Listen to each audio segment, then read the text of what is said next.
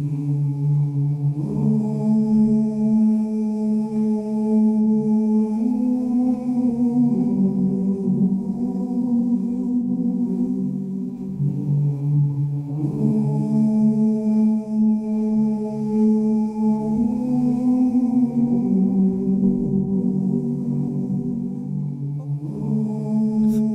early morning light filtered through the dusty windows of the veiled tome bookshop, casting long, delicate shadows across the rows of antique books.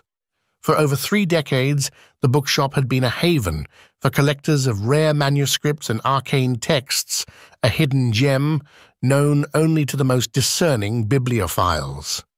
Today, however, it would become the stage for something far more extraordinary. Charlie Daniels, the shop's longtime owner, was behind the counter, flipping through an obscure volume on Tibetan esotericism when the bell above the door chimed. He glanced up, his keen eyes sharpening at the sight of the man entering.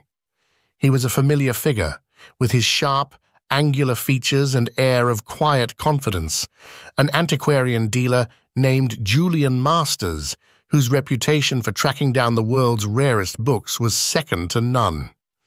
Julian approached the counter, a knowing smile on his face. Charlie, I've got a riddle for you. Charlie raised an eyebrow. I'm all ears, Julian.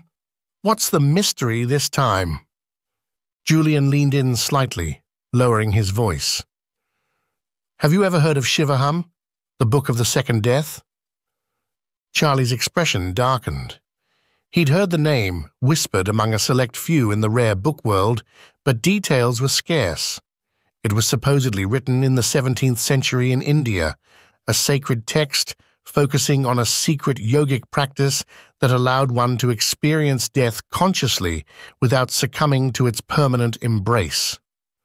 The book was said to reveal the mysteries of what lay beyond death, a path to higher states of consciousness but most critically, it was believed to contain instructions on how to traverse the afterlife and return unharmed with the knowledge of what awaits beyond. A legend, Charlie said cautiously, the kind of thing that leads collectors to ruin. Not a legend, Julian countered, his eyes gleaming with excitement. It's real, and there's only one copy in existence. Charlie folded his arms, leaning back in his chair. So I've heard. The problem is, no one knows where it is. Julian's grin widened. Correction, no one knew where it is. I've traced it to an obscure Tibetan monastery, somewhere in the Himalayas. Charlie whistled softly. A monastery, huh? But which one? That's the challenge, Julian said, his voice dropping to a conspiratorial whisper. There are hundreds of monasteries in those mountains, many of them remote and isolated, but I've narrowed it down to three possible locations. Charlie's eyes narrowed. You're not the only one looking, are you? Julian sighed, rubbing his chin. No, there are two others. Eleanor Price, a British dealer with deep connections in Asian manuscripts, and Rajan Singh, a former scholar turned treasure hunter.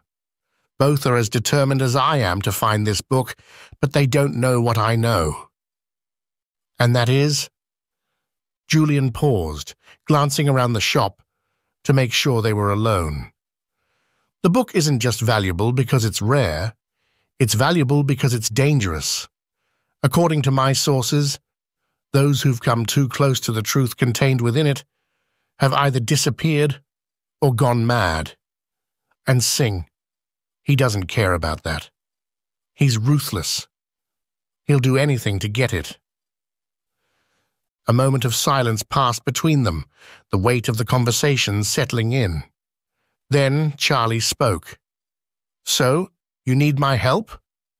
Julian nodded. You've got contacts I don't, Charlie, and more importantly, I trust you. This isn't just about money or prestige. It's about something far bigger.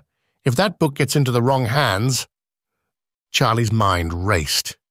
The prospect of finding such a powerful secret text intrigued him. But the danger was equally clear. He rubbed his temples, considering his options. Then he looked Julian dead in the eye. All right, he said. I'm in. but we do this my way. The following week, they had reached Nepal, sitting in a small cafe in Kathmandu, waiting for their contact. It had taken days of planning and a few discreet bribes to the right officials, but they were closer now. As Charlie sipped his tea, he glanced out the window at the bustling streets. His mind drifted to the mountains beyond, their towering peaks lost in the clouds. Julian was tapping his fingers anxiously on the table, clearly impatient. He's late, he muttered. He'll show, Charlie said calmly, though he too felt the tension rising. Their contact, a local fixer named Dorje, had promised to lead them to the first of the three monasteries they suspected housed Shivoham. But so far, there had been no sign of him. Just as Charlie was about to suggest they move, the door swung open, and a man in a worn leather jacket slipped inside. Dorje was lean and wiry with sharp, intelligent eyes. He moved quickly, seating himself at their table without a word of greeting. The monastery you're looking for is called Rongbuk, Dorje said, his voice low and gravelly. It's old, very old, and few outsiders have ever been allowed in. But there's a complication. Charlie exchanged a glance with Julian. What kind of complication? Dorje leaned forward, his expression serious. You're not the only ones on this trail. The woman, the British one, Eleanor Price, she's already on her way. And Singh, well, he's been making inquiries too. It's only a matter of time before you all converge on the same place. Julian cursed under his breath. Then we need to move faster. Dorje shook his head. Speed isn't the issue. Getting inside the monastery is. The monks are wary of strangers, especially those seeking forbidden knowledge. You'll need to prove yourselves if you want access. Prove ourselves how? Charlie asked. Dorje smiled faintly. By demonstrating that you're worthy. This isn't just a quest for a book. It's a spiritual journey. The monks will test your intentions. Charlie nodded slowly, understanding the gravity of the situation. This wasn't just about finding a rare artifact anymore. It was about earning the right to possess it. We're ready, Charlie said, though he wasn't sure if that was entirely true. The journey to Rongbuk was grueling. They travelled for days through rugged terrain, ascending steep, narrow paths that wound through the mountains. The higher they climbed, the thinner the air became, and the more isolated they felt. There were moments when Charlie wondered if they were on a fool's errand, chasing a myth through the snow-covered wilderness. But finally, they arrived. Rongbuk Monastery was perched on the edge of a cliff, its ancient stone walls blending into the landscape as if it had always been part of the mountains. The wind howled through the valley below, and the silence of the place was almost palpable. As they approached the gates, a lone monk appeared, his face serene but stern. You seek Shivoham, the monk said, his voice carrying an otherworldly calm. But the path to knowledge is not given freely. Charlie and Julian exchanged a glance. This was it the test Dorje had warned them about. What must we do? Charlie asked. The monk smiled, a faint, mysterious curve of the lips. Only those who understand death can comprehend the knowledge within that book. Tonight, you will meditate in the Hall of the Departed. If your hearts are pure, the truth will reveal itself. As night fell, they were led into a vast, candle-lit chamber deep within the monastery.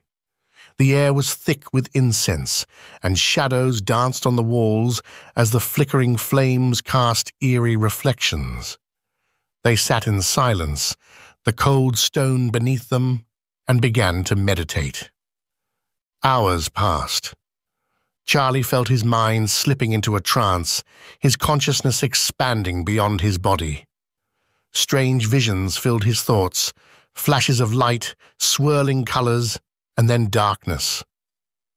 A sense of weightlessness enveloped him, as if he was drifting between worlds. Suddenly, he was standing at the edge of a vast abyss, staring into the void beyond. A voice echoed in his mind, calm and steady. This is the threshold. Cross it, and you will see what lies beyond. He hesitated, and in his hesitation knew that he wouldn't pass the necessary test.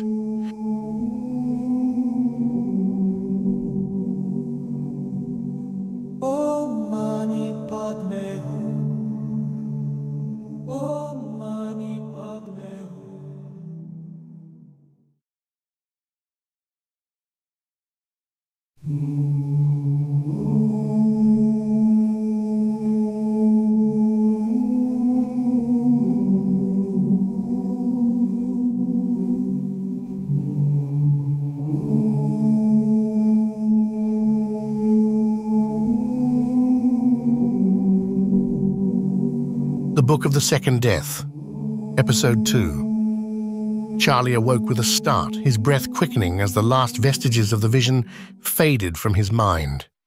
The hall of the departed was still dimly lit by flickering candles, and Julian sat across from him, his eyes closed in meditation. The air felt heavy, dense, with a weight of something unseen yet palpable pressing on his mind. For a long moment, Charlie sat in silence, attempting to clear his thoughts, but the unease within him only grew. He couldn't shake the feeling that something was wrong. His vision had been vivid, a glimpse of the abyss, a threshold that felt all too real. But the voice that beckoned him, it wasn't inviting. It was commanding. He glanced at the lone monk standing near the entrance, his face bathed in shadow. Charlie's instincts, honed by decades of navigating the labyrinthine world of rare books and antiquarian circles, screamed at him that this was not right. This monastery, this ritual, it didn't feel like a genuine test. There was something too rehearsed, too staged about it. Julian opened his eyes, exhaling deeply. Did you see anything? he asked in a low whisper. Charlie hesitated before answering, his gaze still fixed on the monk. I don't know. Maybe. It felt wrong. Julian's brows furrowed. Wrong? What do you mean? Charlie shook his head, leaning in closer to avoid being overheard. It felt like I was being led somewhere I shouldn't go, like it was a trap. Before Julian could respond, the monk stepped forward, his expression inscrutable. You have meditated well, he said in a calm, even tone. The truth will come to you in time. But now, you must rest. Rest? Charlie echoed, trying to keep the suspicion out of his voice. Is that part of the process?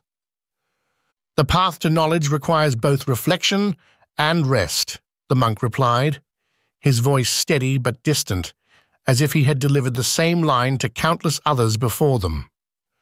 Julian stood, his eyes narrowing.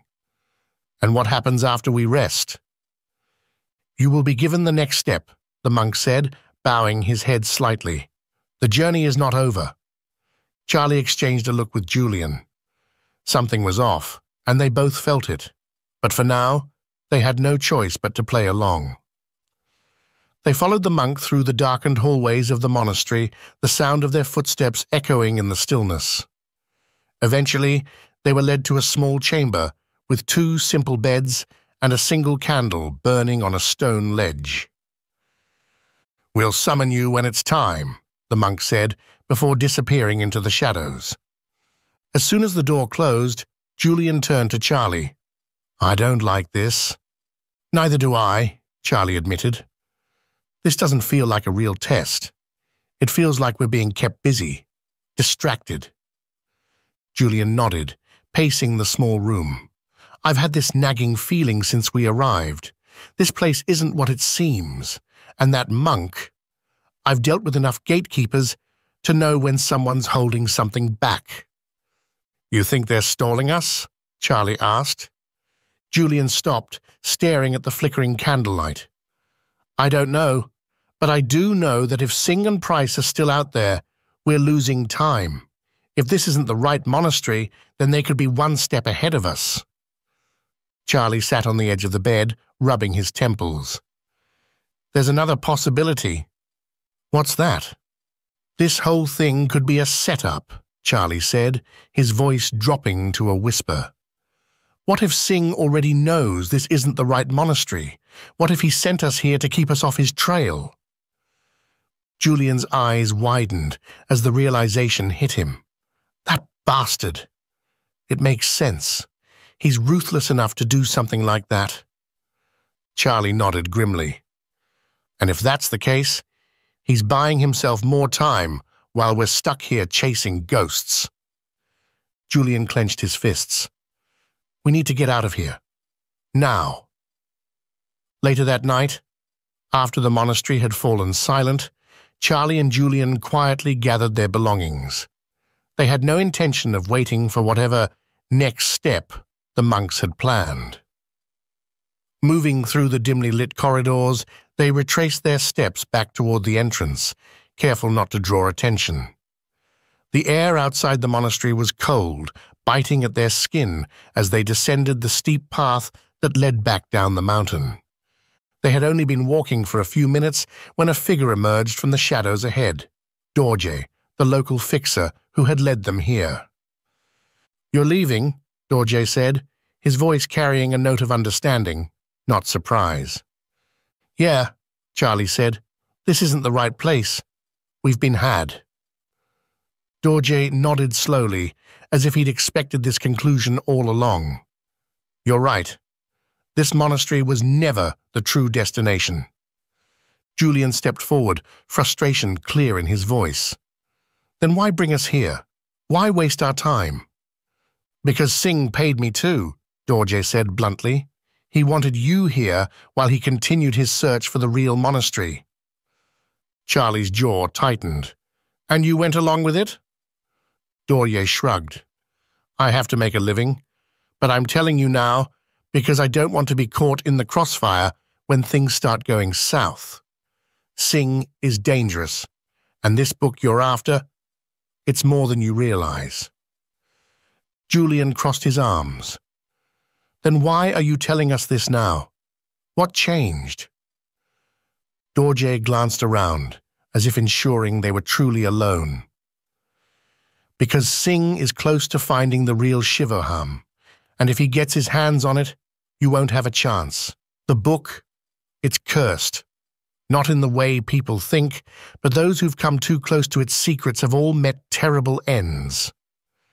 Charlie exchanged a look with Julian. What do you know about this book, Dorje? The fixer hesitated, then spoke softly, almost reverently. The Shivoham, the Book of the Second Death, was created centuries ago by a Hindu sage, a yogi who claimed to have crossed the boundaries of life and death. It said that he wrote the book as a guide for those who sought to transcend the cycle of rebirth and attain immortality in the spiritual sense. But the knowledge in the book was dangerous, and not all who read it were pure of heart. Some sought power, others control over death itself. Over time, the sages who guarded the book decided it was too perilous for humanity and sought to erase its existence. Julian raised an eyebrow. So, what happened? Dorje's eyes darkened. For centuries, the book passed through secret hands, hidden by those who swore to protect it. But each time it resurfaced, disaster followed. Kingdoms fell, scholars went mad, and treasure hunters vanished without a trace. Some say the book is cursed, but it's more than that. It's a test of the soul, and few can bear the weight of its truths. Charlie's mind raced, piecing together the fragments of history. And Singh, he doesn't care about the consequences, does he? No, Dorje said. He only cares about what the book can give him, and if you don't stop him, he will find it. Julian let out a long breath, his gaze hardening. Where is the real monastery, Dorje? If we're going to catch Singh, we need to know. Dorje glanced up the mountain, then back at them. There's another monastery, older and far more secluded, deep within the mountains. It's called Drakmar, and it's hidden in a valley that few have ever reached. That's where the Shivoham is. Charlie frowned. Why didn't you take us there in the first place? Dorje sighed. Because Drakmar isn't like other monasteries, the monks there are different. They don't take kindly to strangers, and they guard their secrets fiercely. Getting in won't be easy. Julian smirked. Since when has this ever been easy? Charlie, however, remained wary. What's your angle here, Dorje? Why help us now? Dorje's eyes softened, and for the first time, Charlie saw a flicker of something genuine in the man's expression. Fear. Because Singh is ruthless. I don't want to be the one responsible for unleashing whatever that book contains. You have a chance to stop him, to make sure it stays hidden. Charlie nodded slowly. Then take us to Drakmar. Dorje exhaled, nodding in agreement. We'll need to move fast. Singh is already ahead of you, but if we're lucky, we can beat him to the monastery. The journey to Drakmar was arduous. For three days, Charlie, Julian, and Dorje travelled through narrow mountain passes, crossing rivers swollen from the spring thaw, and trekking through forests that seemed to grow darker the higher they climbed. The air was thin, and the cold gnawed at their bones, but they pressed on, driven by the knowledge that time was running out.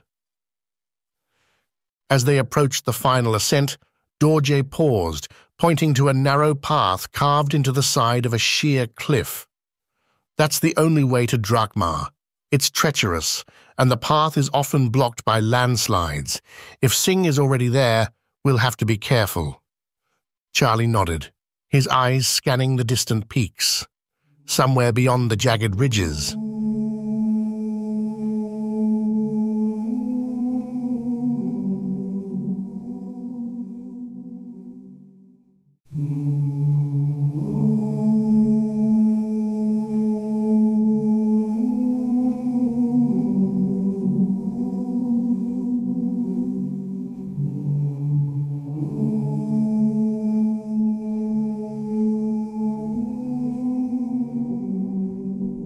Book of the Second Death, Episode 3, the ascent toward Drakmar grew more perilous with each step. The narrow path carved into the side of the cliff was barely wide enough for one person at a time, and the cold, biting wind made even the most sure-footed among them stumble occasionally. The higher they climbed, the thinner the air became, and every breath felt like a struggle. Charlie had been scanning the ridge line for any sign of movement when he spotted a figure approaching from the opposite direction. At first, he thought it might be one of Singh's men. But as the figure drew closer, the silhouette became clearer. It was a woman, her bright red scarf fluttering wildly in the wind. Julian, Charlie whispered, motioning toward her. Julian squinted against the glare of the snow. Who the hell is that? As the woman reached them, her face came into view, pale, wind-chapped, but unmistakably determined. It was Eleanor Price, the British antiquarian, who had been one of Singh's rivals in the hunt for Shivoham. Well, well, Julian said, unable to hide his surprise. Miss Price, didn't expect to see you on this side of the mountain. Eleanor, panting and visibly exhausted from the climb, brushed snow off her coat and glared at them both. I could say the same of you too. Charlie stepped forward, his eyes narrowing. What are you doing here? Last we heard, you were ahead of us, tracking the same monastery. Eleanor shook her head, letting out a bitter laugh. I was. Singh made sure I was chasing shadows, just like he did with you. Only I figured it out a bit sooner. Julian frowned. You mean he duped you too? He did, she said, her tone laced with frustration. That bastard set me on the wrong trail while he gained ground. By the time I realized what was happening, I had lost days. Dorje, standing off to the side, seemed uncomfortable with the conversation. Singh has been playing all sides, he muttered. Eleanor shot him a withering look. Yes, and I assume you were his hired guide for the misdirection. Dorje had no retort, only a faint nod of acknowledgement. We don't have time for this, Charlie interjected, his voice firm. We're all on the same path now. If Singh's ahead of us, we can't afford to waste any more time fighting each other. Eleanor crossed her arms, studying them for a long moment. I'm not in the habit of working with others, especially competitors, but under the circumstances, I'm willing to reconsider. Julian raised an eyebrow. You want to join forces? It's better than the alternative, Eleanor said. Singh isn't just after the book for its historical value, he's after something more. And I don't intend to let him find it alone. Charlie glanced at Julian, and after a brief moment of silent agreement, they nodded. Fine, Charlie said.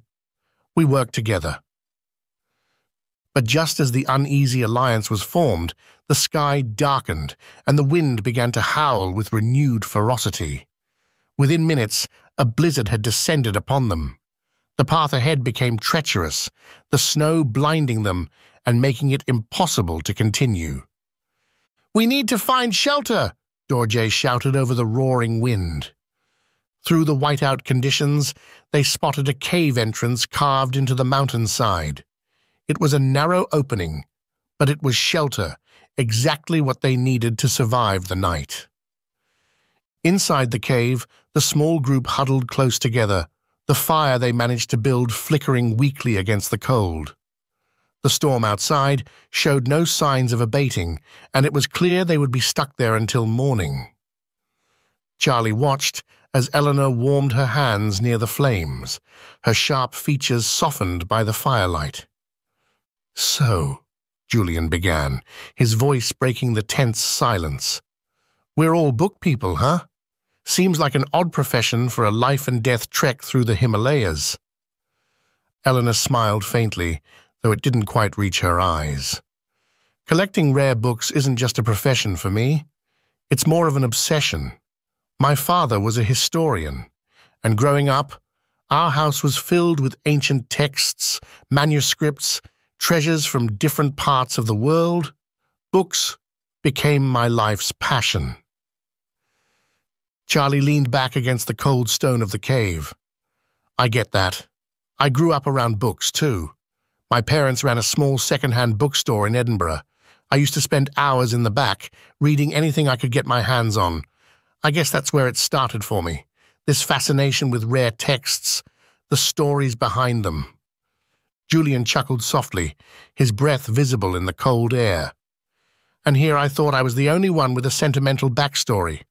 I came into the business by accident, really. I was a journalist, and I covered a story on a private library auction. There was this book, an ancient codex, full of these bizarre illustrations.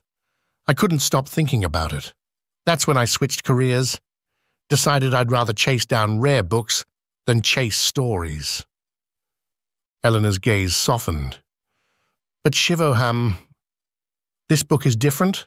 We're not just chasing history or prestige here. We're chasing something deeper. Charlie nodded. It's not just about the book anymore. It's about what it represents. The idea that there's something out there, some deeper truth about life and death, about the universe.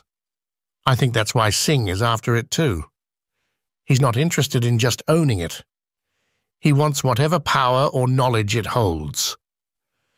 The wind howled louder outside, and for a long moment they all sat in contemplative silence. Each of them had spent years chasing after rare manuscripts, but the Book of the Second Death was something far more profound. It wasn't just a piece of history, it was a doorway to answers they all sought whether they realized it or not. Eleanor broke the silence. I was raised Anglican, but I never really believed. Not fully. As I got older, I became more of an agnostic, skeptical, questioning everything. But the more I studied ancient texts, the more I found myself searching for something. A deeper meaning to all this. She gestured vaguely around. Something beyond what we can see or explain. Julian nodded, his expression more somber than usual. I'm the same. I've never been religious, but I've always felt like there's something more out there. Maybe it's the years of reading old texts, trying to find some thread that ties it all together. Maybe it's just a human thing, to want answers to the big questions. Life, death, what comes after? Charlie shifted, feeling the weight of their shared confessions. It's strange, isn't it? We've spent our lives collecting pieces of the past, but when it comes to this book, it's like we're all looking for the future, something that will give us meaning. Eleanor's voice was soft, almost a whisper. Do you think the answers are out there? Charlie hesitated before answering. I don't know, but I think it's worth finding out. The fire crackled as they lapsed into silence again, the storm outside raging on, each of them lost in their own thoughts, thoughts of the path that had led them here and the path that lay ahead. For all their expertise and knowledge, none of them truly knew what they were getting into, but they knew they had to try. By morning, the storm had passed. The sky was clear, the sun reflecting blindingly off the snow-covered peaks. The air was still frigid, but the worst of the weather was behind them. Dorje stood at the cave's entrance, scanning the horizon. We should leave now, while the weather's on our side. It won't stay like this for long. Charlie, Julian, and Eleanor quickly gathered their things, mentally preparing for the next leg of the journey. The climb would only grow more dangerous from here, but with Singh ahead of them, there was no time to lose. As they set off, the tension between them had eased slightly. Their shared experiences in the cave had forged a tentative bond, though none of them fully trusted the others yet. Still, there was an unspoken agreement.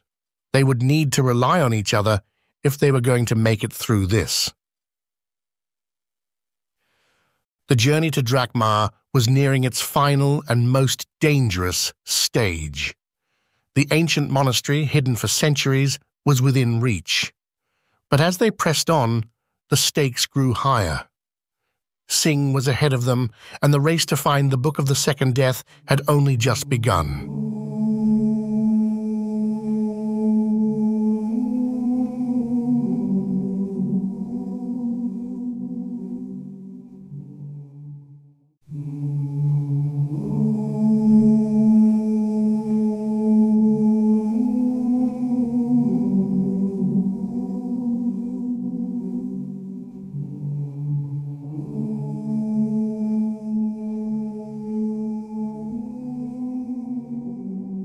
The Book of the Second Death Episode 4 The ascent to Drakmar was steep and unrelenting, the path narrowing as it wound through jagged cliffs and icy ledges. The air had grown thin, and every breath felt like a battle. Yet, despite the harsh conditions, Charlie, Julian, Eleanor, and Dorje pressed on. They had no choice. The closer they got, the more the urgency of their mission settled into their bones. As they rounded a bend in the path, a surprising sight greeted them. A small group of Tibetan monks, their dark robes fluttering in the mountain wind. The monks were chanting softly as they ascended, walking with a calm grace that made the treacherous climb look effortless.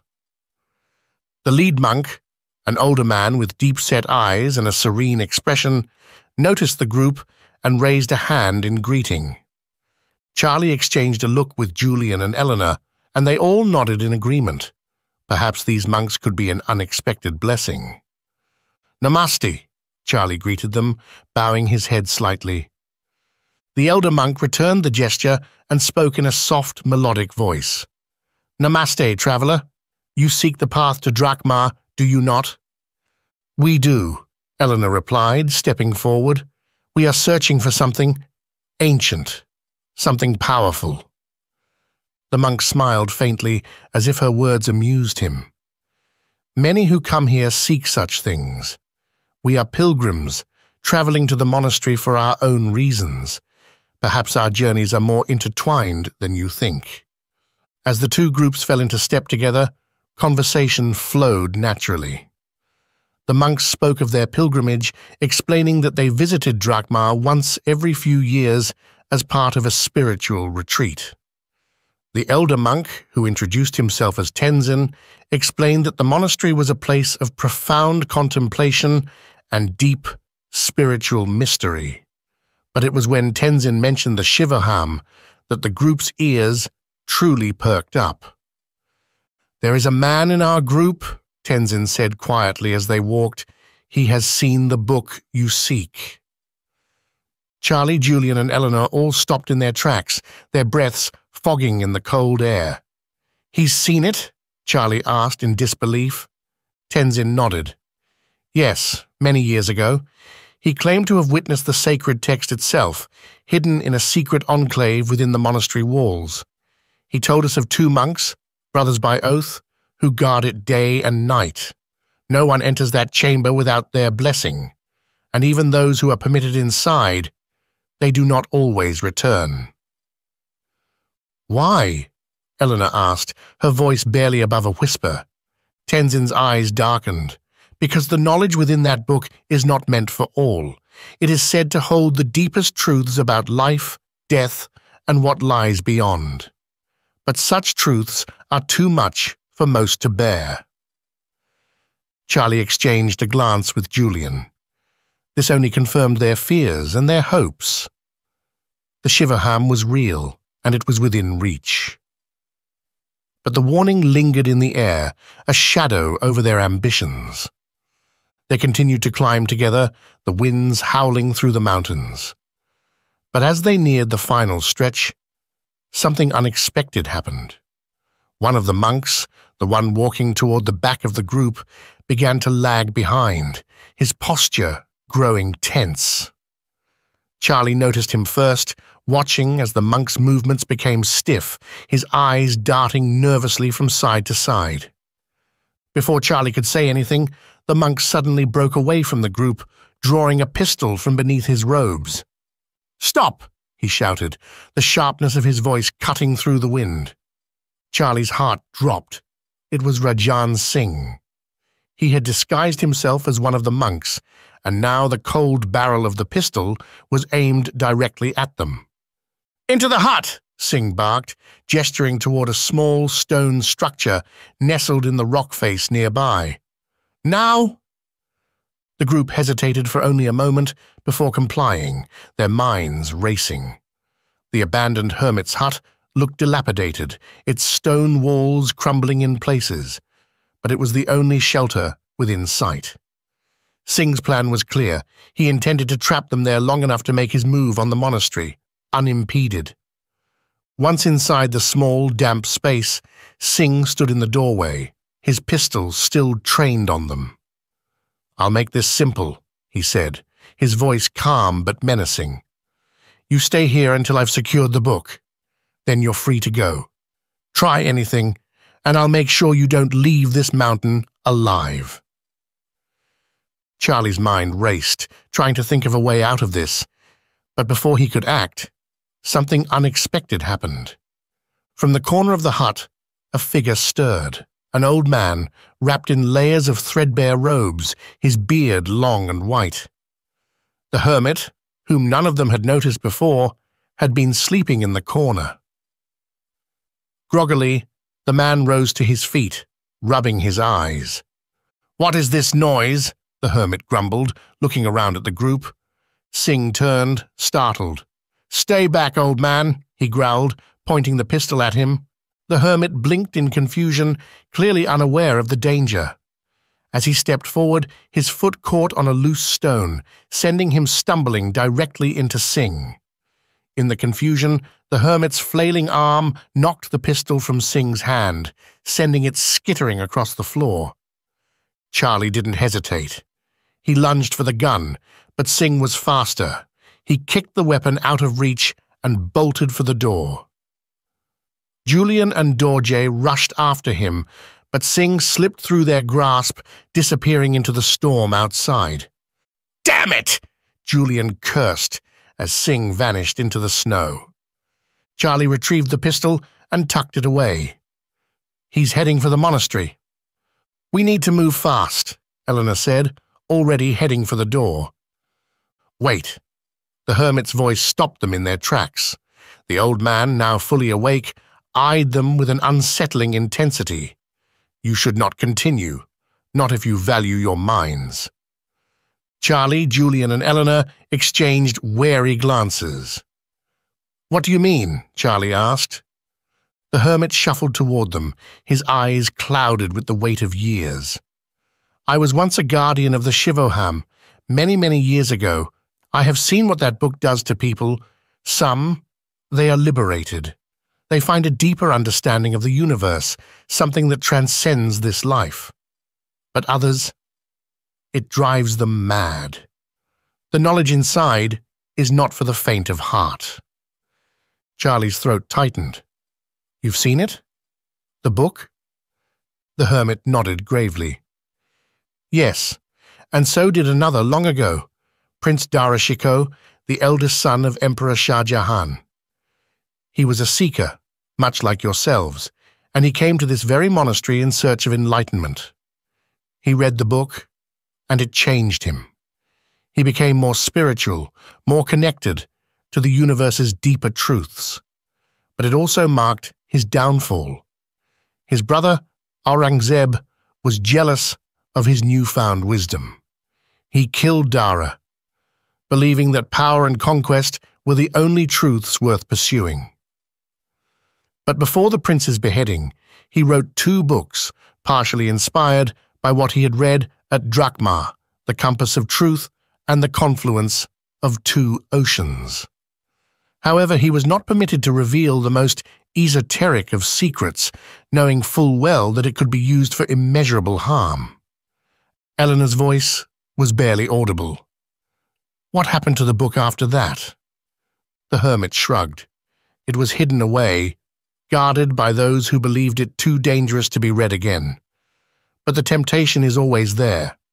People like you, people like Singh, you come seeking answers. But the answers you find may not be the ones you want. The group stood in stunned silence, absorbing the gravity of his words. For a moment, doubt flickered in Charlie's mind. Was this truly worth it? Was the knowledge they sought worth the risk of losing their sanity? Or worse? But then Julian spoke up. We've come this far. We can't turn back now. Charlie looked at Eleanor, who nodded in agreement. They had all risked too much to walk away empty-handed. The hermit sighed, sensing their resolve. Very well. If you must go, then I will guide you. But heed my warning. This is not a journey to take lightly. The monastery guards more than just a book. It guards the line between madness and truth.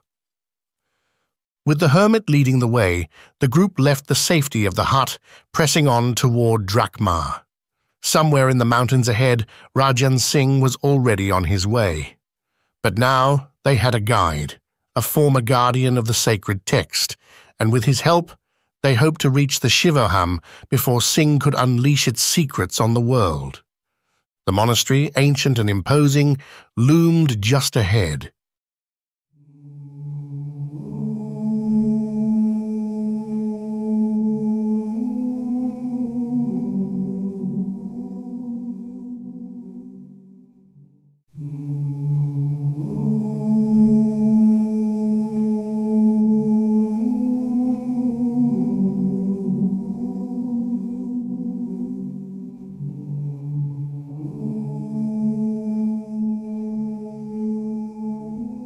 The Book of the Second Death, Episode 5. The heavy wooden gates of Drakma Monastery creaked open, revealing a sight that took the group's breath away. Nestled within the rugged mountainside, the monastery radiated an aura of serenity and timelessness. Its beauty was in its simplicity, stone buildings arranged in harmonious clusters, each with a purpose as sacred as the last. The main courtyard opened to several enclaves, one dedicated to meditation, another to the study of ancient texts, another for food, medicine, and even one for communal gatherings. It was as though each space was a reflection of the monastery's balanced and ordered existence. Charlie, Julian, Eleanor, and Dorje stood in silent awe, their exhaustion momentarily forgotten in the face of such beauty. The buildings were modest, adorned with intricate carvings of lotus flowers and the ever-watchful eyes of the Buddha. A gentle hum of chanting filled the air, carried by the cold mountain breeze, and the scent of incense lingered as if infused into the stone itself. This is magnificent, Eleanor whispered, her voice barely audible, not wanting to disturb the sacred silence that enveloped them. The hermit, who had guided them here, approached the gate's guards, speaking in low, rapid Tibetan. The guards, both of whom were seasoned monks, listened intently, occasionally casting suspicious glances toward the group. After a moment of tense conversation, one of the guards nodded, allowing the group to pass through the gate. The elder of the two guards stepped forward, bowing slightly to the group. His expression was serious but not unfriendly. The hermit has spoken on your behalf. You may enter. But I must warn you, he said, his voice heavy with caution. We had another visitor not long ago, an ill man, gravely sick, who arrived barely able to speak. We do not know his name, and he has been in seclusion since. Julian exchanged a sharp glance with Charlie. An ill man? Julian muttered under his breath. That has to be Rajan Singh. He's playing sick to avoid detection. Charlie nodded, his gut tightening with suspicion. It fits. He must be here, hiding in plain sight. We need to be careful. The group was led through the monastery's courtyards, where monks moved gracefully from one task to another, some carrying water, others tending to plants in the small, well-tended gardens. Despite the simplicity of their surroundings, there was a richness in the air, a palpable sense of devotion and discipline. They were guided to a small, dimly lit dining room where the scent of spiced vegetables greeted them warmly. A simple meal was placed before them, hot tea and a modest but hearty serving of vegetable dal. The warmth of the tea spread through their chilled bodies as they ate in silence, the tension of their long journey finally beginning to melt away. As they finished their meal, the head abbot appeared. He was an elderly man, his face lined with age but his eyes sharp and luminous. His movements were slow and deliberate, each step a study in patience. Bowing slightly, he gestured for them to follow him. You are weary, he said softly, his voice carrying the weight of wisdom.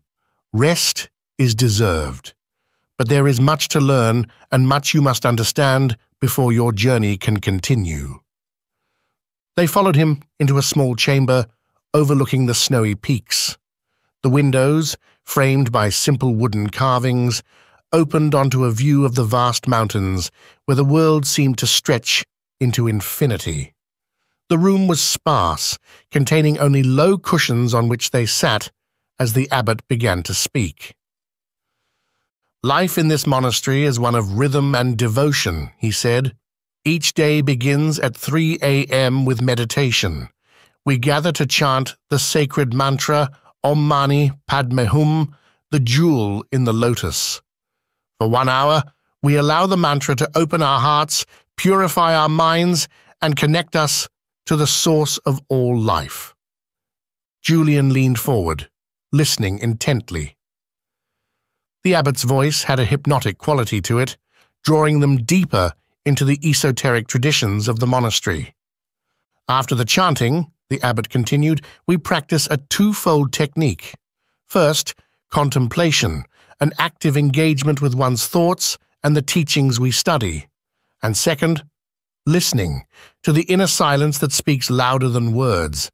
This balance allows us to become both the question and the answer. Charlie felt the warmth from the tea seep further into his body, blending with the abbot's words. The world of the monastery seemed to operate on a higher plane, one he was only just beginning to understand. Our days continue with structured physical postures, movements designed not just to strengthen the body, but to harmonize the flow of energy within. Each posture is a form of meditation in itself, a prayer offered through motion. The abbot's eyes twinkled slightly as he added, This is followed by a plunge into the icy waters of the nearby spring. It is both invigorating and cleansing, a reminder of life's impermanence. Eleanor shivered slightly at the thought of the icy plunge but remained focused as the abbot spoke on. Group chanting follows and then the sharing of meals. Each part of our day is a meditation, a reflection on the sacred and the simple. Even the act of eating becomes an offering to the divine. As the abbot finished explaining their daily routine, the group exchanged glances. There was something captivating about the strict regimen of the monastery. It was not just discipline for discipline's sake. It was a life designed to peel away distractions, to allow the soul to seek its truest form. After a pause, the abbot's face grew more solemn, and the air in the room thickened with anticipation. You came here seeking the Shivoham, he said, his voice deepening. The book holds great power, but it is not merely a text to be read, it is a guide, a living manuscript that interacts with the soul of the reader. The book is divided into three sections, but only one can be accessed by each seeker. Eleanor frowned slightly, intrigued. Why only one? she asked. Because, the abbot replied, his eyes darkening, each section offers a distinct path, a path that will transform you. Once you begin down one path, the others become closed to you forever. The Shivoham reveals the journey most aligned with your soul, but the price of insight is singularity. To attempt to learn more than one path would not lead to enlightenment, it would lead to madness. A shiver ran through Charlie as he considered the gravity of the abbot's words. Tell us about the three paths, Charlie said, his voice low, though filled with curiosity. The abbot nodded. The first path, found in the first section of the book, is the path of detachment. It teaches that all suffering comes from attachment to the world, to possessions, to people, to life itself. To follow this path is to learn to release all ties to the material realm and embrace the void with peace. The second, he continued, is the path of service. It is the most outward of the three, requiring that the seeker immerse themselves fully in the lives of others. It is through selfless service that one transcends the self and finds liberation in unity with the whole. The third path, he said, his voice growing quieter, is the path of contemplation. This is the road of the scholar the mystic, the philosopher. It involves deep reflection on the nature of existence, a questioning of all reality until the seeker transcends the need for answers. The group sat in stunned silence, each member lost in their own thoughts about which path would be theirs. Before you can access the book, the abbot said, you must reflect on your journey. The tea you drank earlier has already begun to work within you, guiding you toward the path meant for you. But be forewarned. If your heart is not sincere, if you approach the book with ego or deceit, the knowledge will shatter your mind. Many who sought its power before you were not prepared and were driven to madness. The abbot stood, motioning for them to follow. Rest tonight. In the morning, you will each decide your path. Once the decision is made, there is no turning back. As they followed him out of the room, Charlie couldn't shake the feeling that the decision they faced was larger than any they had ever made. The Shivoham waited, ancient and enigmatic, holding within its pages either enlightenment or destruction.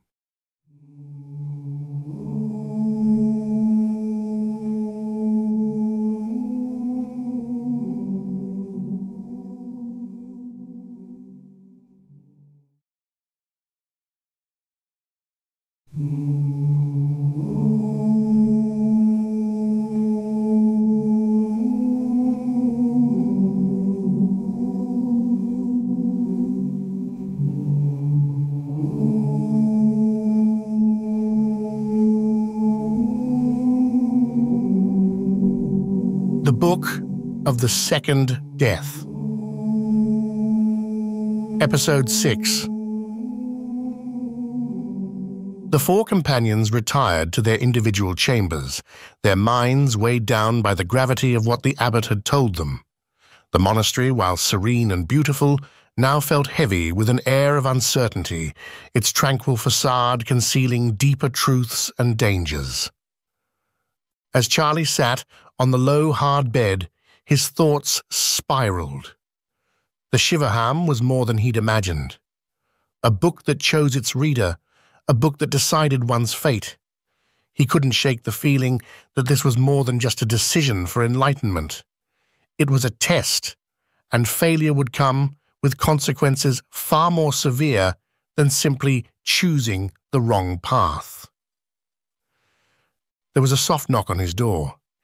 He opened it to find Julian standing there, his face shadowed in the dim light of the hallway. We need to talk, Julian said, his voice low. Charlie nodded and gestured for him to come in. The room was sparsely furnished, like all the others in the monastery, just a bed, a small table, and a single window that overlooked the dark, snowy peaks. Julian closed the door behind him and turned to face Charlie. I've been thinking about what the abbot said. The paths, they're not just spiritual choices. They're a reflection of who we are at our core. Charlie raised an eyebrow. Go on. Julian paced the room, his hands moving as he spoke. The first path. The path of detachment. It's about letting go of everything. Sounds like something Rajan Singh would be interested in, don't you think? Charlie frowned. You think Singh came here for the Shivoham? I do. Think about it. He's always been trying to escape his past, his enemies, everything.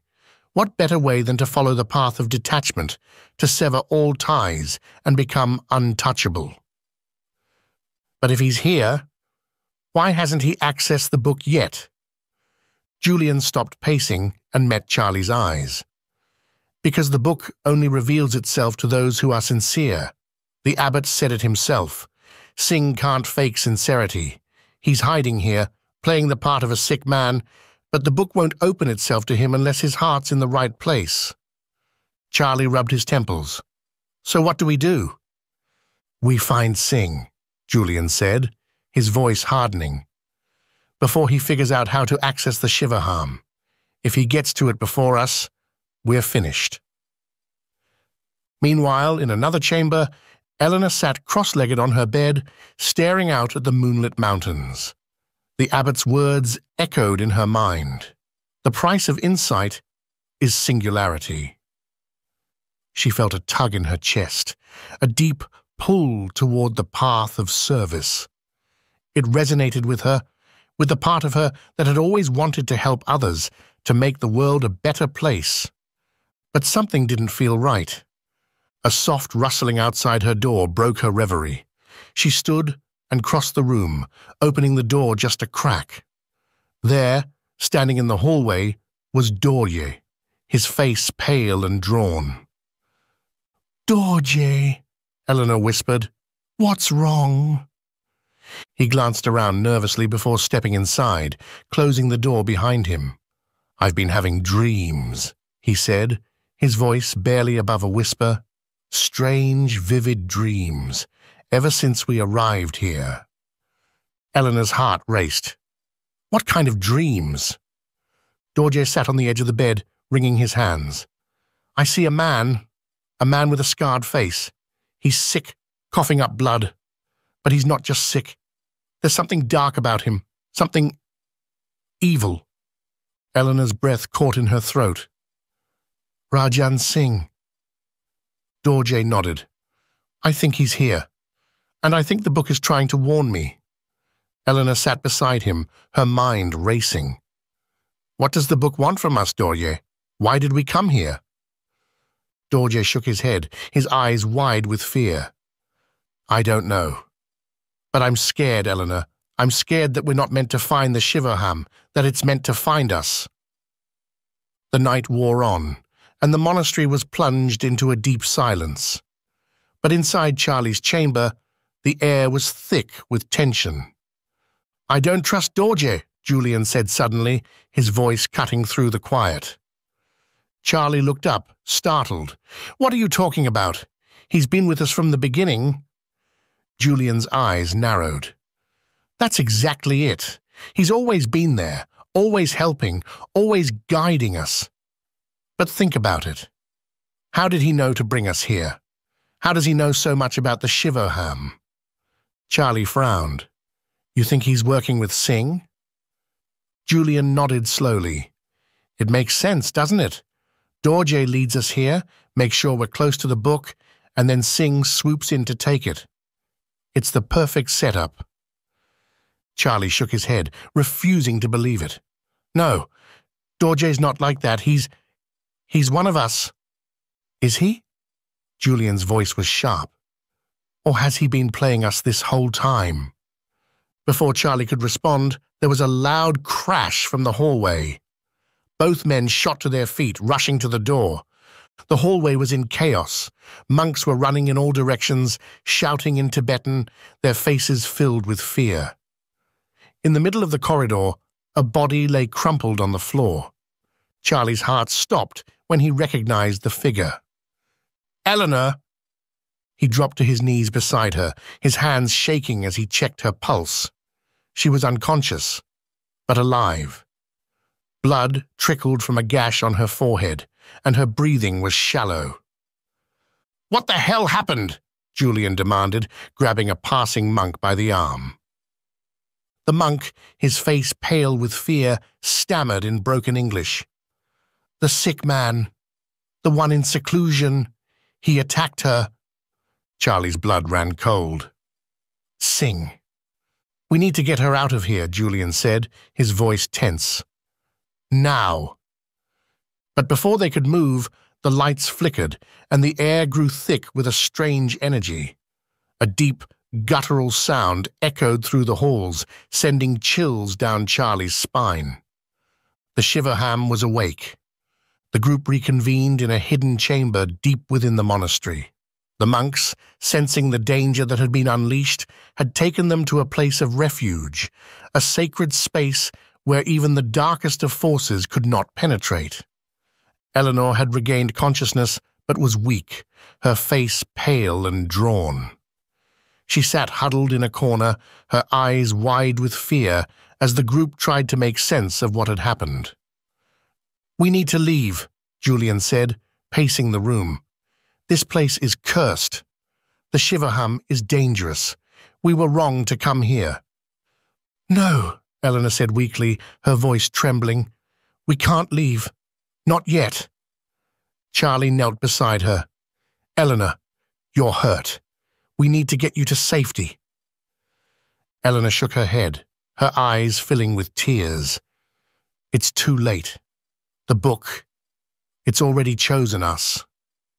What do you mean? Charlie asked, his heart pounding. Eleanor took a deep breath, her voice barely a whisper. When Singh attacked me, I saw something.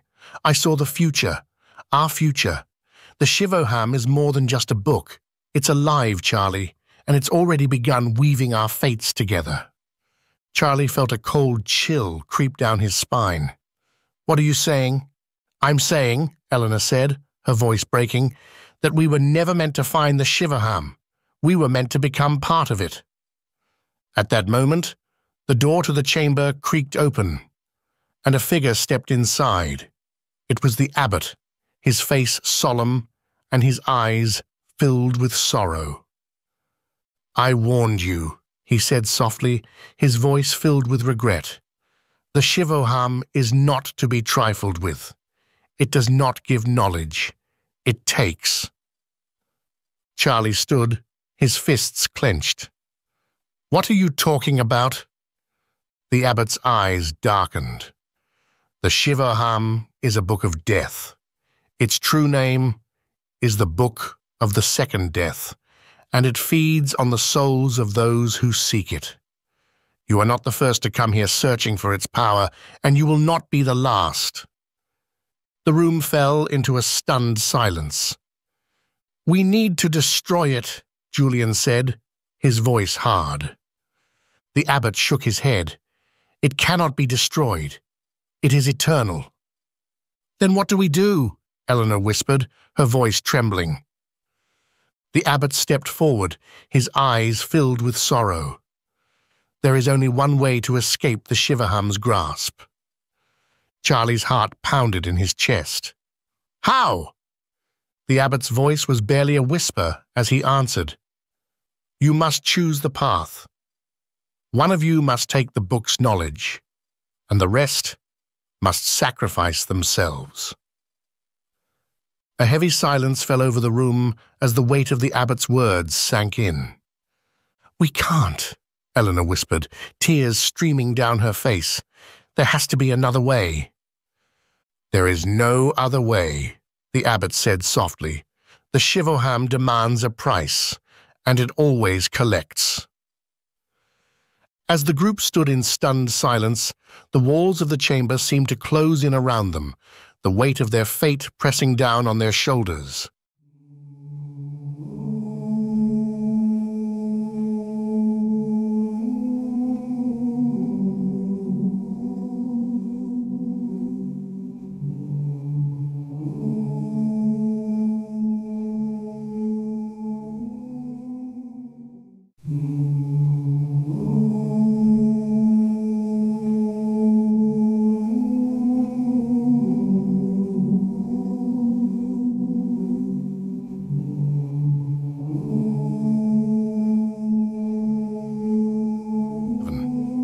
Episode 7 The Unveiling. The four companions, huddled in the dim light of the hidden chamber, reeling from the weight of the abbot's words. The Book of the Second Death, known as the Shivoham, had demanded a choice from them, a sacrifice that none were prepared to make. The air felt thick, charged with a surreal energy that each of them struggled to comprehend. As Charlie exchanged a glance with Eleanor, he felt something gnawing at the back of his mind. His thoughts were unfocused, as though a fog clouded his senses. He brushed it off as tension, but somewhere deep down, a faint doubt lingered. Rajan Singh appeared in the doorway, his figure cutting a stark shadow against the candlelit walls. His presence was an unwelcome jolt, yet strangely familiar, as if he'd been part of their journey all along. Singh's smile was smug as he looked around, eyeing the Shivoham on its pedestal with barely concealed avarice. So, you've made it this far, Singh drawled, his voice dripping with disdain. But the real question is, are any of you prepared to actually use it? You don't belong here, Julian snapped, his voice taut with suspicion. The Shivoham wasn't meant for you. Singh shrugged. Oh, but here I am.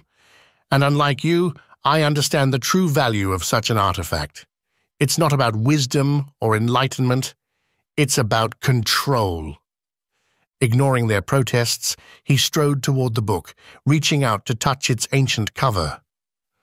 The group held their breath, expecting some grand reaction from the Shivoham. But as Singh's fingers brushed its surface, the book remained silent, inert, no grand revelation or mystical aura emanating from it. He frowned, clearly puzzled, his smugness giving way to frustration. What? What is this? Singh stammered, confusion etching across his face. Why does it show me nothing? The abbot's voice, calm but stern, cut through the tension. The Shivoham reveals only to those who are sincere in their search. It cannot be forced to reveal its secrets. Singh's face twisted in anger. You think I care about your metaphysical nonsense? He turned back to the book, shaking his head as he muttered to himself. There has to be a way. But as he spoke, the ground began to tremble slightly, and an intense feeling of disorientation washed over each of them. The Shivoham's pages began to glow, and an overwhelming sensation of vertigo overtook them. Each companion felt as though they were being pulled out of their own minds, thrust into visions of alternate realities. Charlie found himself in a world of serenity, where he had left behind every regret and pain. Eleanor, surrounded by people in need, felt herself brimming with purpose as she offered comfort and aid. Julian, haunted by his past, saw a path of redemption before him. And Singh, who desired control, found himself staring at a life devoid of purpose, empty and meaningless. Yet as each vision intensified, a sliver of awareness crept into their minds, a nagging doubt that whispered that none of it was real. Something wasn't right. Eleanor, grasping at the edges of her vision, began to realize that she felt disconnected from herself, as if her experience was somehow crafted, tailored to deceive. Suddenly, she gasped, breaking through the haze. This isn't the Shivoham, she murmured, clutching her head. This is something else. Charlie, too, began to shake off the fog. Wait, how did we get here? I don't even remember leaving my chamber. Julian's eyes narrowed as he focused on the lingering taste on his tongue. The tea, he muttered, realization dawning. The tea they gave us, it was laced with something. It's inducing hallucinations. The abbot's serene face flickered, a crack in his calm demeanor, as though he had been caught off guard. But before anyone could react, Singh burst out laughing, his voice echoing against the chamber walls. So, it was all a game, then? His voice was bitter, but there was an odd gleam of satisfaction in his eyes. The Shivoham is nothing but a projection, a talisman of illusions. The abbot's voice was even but tinged with regret. The Shivoham is real, but its power is not what you think. It does not reveal knowledge, it reveals desire. It is coded in symbols, meant to test those who seek it.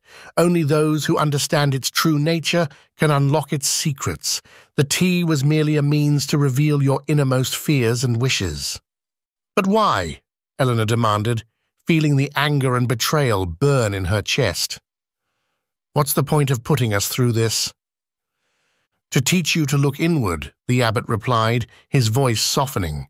The Shivoham's true purpose is not to grant wisdom, but to reveal what already lies within you. Only by facing your own mind, your own desires, can you understand the path before you. Singh sneered, crossing his arms. So this was just some elaborate spiritual exercise? He scoffed, shaking his head. I should have known this was all a waste of time. Perhaps it was, the abbot replied calmly but each of you has glimpsed a part of yourself that you would not have faced otherwise.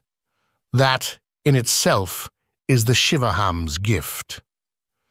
Charlie, Eleanor, and Julian exchanged glances, each of them trying to reconcile their experiences with this revelation. They had been drawn into a web of illusions, but the visions had revealed undeniable truths about their own desires and fears. The Shivoham had held up a mirror to their souls, and what they had seen could not be unseen. Singh, however, was undeterred. He strode toward the book, his expression darkening with frustration. If this book is so powerful, then I will find a way to use it for something worthwhile. Fame, fortune, whatever it can give me. But when he opened it, the pages remained blank, mocking him with their emptiness. Singh slammed it shut in frustration, his face a mask of barely concealed rage. The abbot shook his head, his voice soft and filled with pity. The Shivoham reveals nothing to those who seek it for greed or control. It is a talisman that reflects only what is in one's heart. The companions, now clear-minded, looked to each other, realizing that the real journey was one of self-reflection and discovery, not a quest for hidden knowledge or power. They had all glimpsed something valuable, something to carry forward in their lives, even if they would leave empty-handed. But just as they turned to leave, a strange mark appeared on the cover of the Shivoham, a series of symbols etched in gold. Eleanor stepped forward, her eyes widening as the symbols shifted, aligning into patterns she recognized. It's a code, she whispered, a message for those who see beyond the illusions. The abbot's eyes met hers, and he gave a solemn nod. You are the first to understand. The Shivoham holds knowledge, yes, but it is hidden within its symbols, available only to those willing to decipher it without greed. And as they left the chamber, leaving Singh behind in his frustration, they realized the true nature of the Shivoham. It was not just a book, but a cipher, a guide for those willing to question not only the world around them, but the very depths of their own minds. As they walked through the monastery, the feeling of disorientation faded, the effects of the tea waning. They understood now that the Shivoham's true power lay not in its pages, but in the journey it compelled them to undertake, a journey into their own hearts where the real answers lay hidden. And somewhere, in the dim shadows, the Shivoham waited patiently for those brave enough to unlock its mysteries, one hidden code at a time.